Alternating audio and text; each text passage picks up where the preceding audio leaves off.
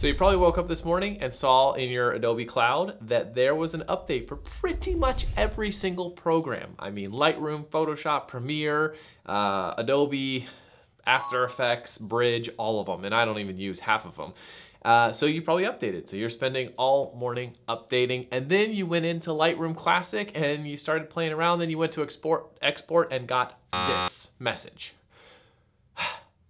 yeah, with updates come bugs. Now this Lightroom, new Lightroom Classic update was freaking sweet. I've played around with it and it is awesome, but there was a bug that I encountered and here is the fix around, the, the workaround until Adobe gets the update. They're gonna do a dot update to like 12.1 because we're using obviously on uh, version 12. So when I talked to Adobe, they said that on a dot update like 12.1, 12.2 or whatever, this should fix, but here is a quick workaround for you. So what you're gonna do is you're gonna go up into Lightroom Classic.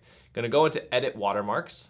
You're going to create a new watermark, blank. So just delete this, click, click Save, just call it Test 1 because I've already done this. Click Create, and then you're going to quit out of Lightroom Classic. Now, once you've done that, once it's quit out, reopen Lightroom Classic. it's so silly. It's such a silly workaround, but it works so well. Good times. Once Lightroom's reopened, right click on the image and export as normal and uh,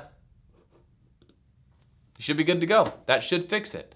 And that's the easy workaround to fix this issue. So now you can at least export images until, I know it's a pain in the ass, but until Lightroom updates it, at least you can now continue using the new Lightroom version.